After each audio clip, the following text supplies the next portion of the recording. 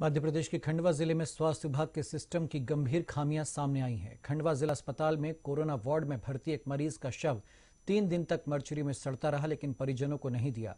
वहीं दूसरी ओर एक ज़िंदा मरीज़ के घर उसकी मौत की खबर भेज दी गई, यहाँ तक कि उस मरीज़ के नाम से किसी दूसरे का शव भी दे दिया गया। जब परिजनों ने डेड बॉडी का चेहरा देखा तो वो दूसरे शख्स की निकली। देखिए किस तरह की गंभीर लापरवाहियाँ हुई इस रिपोर्ट में।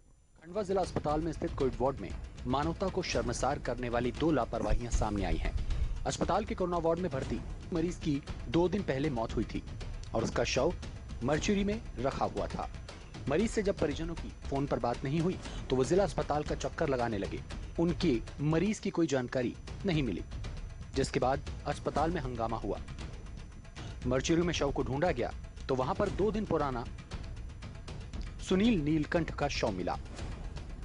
जब उन्हें शव दिया गया तो काफ़ी खराब हालत में था। सुनील के बेटे और उसके दोस्त ने कोविड वार्ड की व्यवस्था को लेकर जानकारी दी।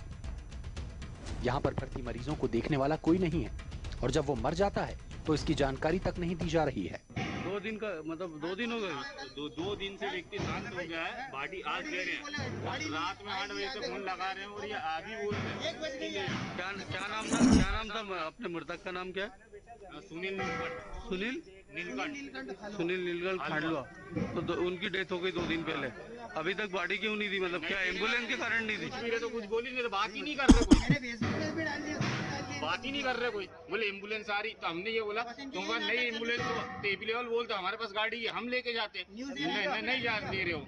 बॉडी नहीं दे रहा हमको। तो क्या कर रही है?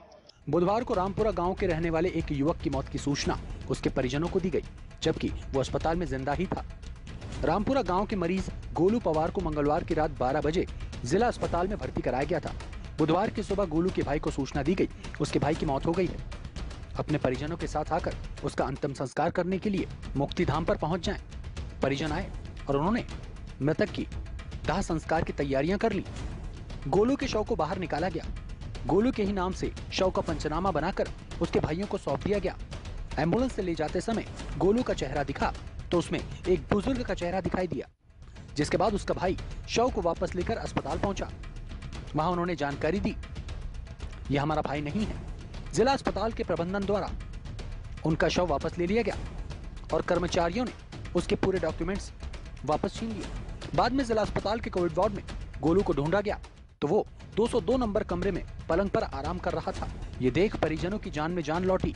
इस पूरे घटनाक्रम के दौरान पूरे चार घंटे तक गोलू का परिवार सदमे में रहा। यहाँ तक कि उसके परिजन बदहवास हो गए।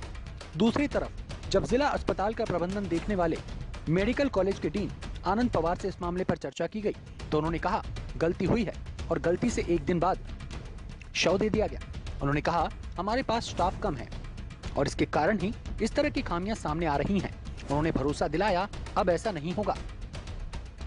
हमने इसके लिए एक नया सिस्टम तैयार कर लिया है। हॉस्टल में छोटे वाले भाई का फ़ोन उठाया नहीं साइड में करो फ़ोन नहीं उठाया अभी सवेरे फिर फ़ोन लगाया उन्होंने कि भाई तुम्हारा भाई शांत हो गया है तुम आ जाओ अब हम सवेरे से आए देखा हमने पूछा तो हमको कुछ या तो कुछ भी दो वहाँ से हमने सब पूरा सामान लकड़ी मकड़ी सब घर से ले आए रामपुरा से। लकड़ी कंडे लकड़ी ये वो सब ले आए। वो बाकी के आदमी वहाँ गए शमशान घाट पे फिर हमको नंबर आया हमारा जैसे कि गाड़ी ले जाने का तो फिर बोले कि तुम एक काम करो, वो काउंटर पे गए हम। तो वहाँ गोलू पवार के नाम से चीट चिपकी थी वहाँ। हमने उनको निकाला एंबुलेंस में डाला, हमने बोला कि हमारा बंदे का चेहरा देखना है हमको। देखा तो हमारा बंदा नहीं था। फिर देखा तो वहाँ गए तो वहाँ भी नहीं था। फिर यहाँ ऊपर जाके फिर एक एक मामा जी का लड़का फिर ऊपर गया हमारा। फिर देखा तो ऊपर मैंने के खाना वाना सब इलाज विलाज अच्छा वाला चल रहा है उसका। कोरोना की दूसरी लहर में खंडवा के जिला अस्पताल में लगभग 300 से अधिक मरीज़ भर्ती हैं। यहाँ पर 200 से अधिक एक्टिव केस सामने आए हैं। स्वास्थ्य विभाग लाख दावे करें, लेकिन प्रबंधन में खामियाँ सामने आ रही हैं, जो मानवता को शर्मसार कर रही हैं।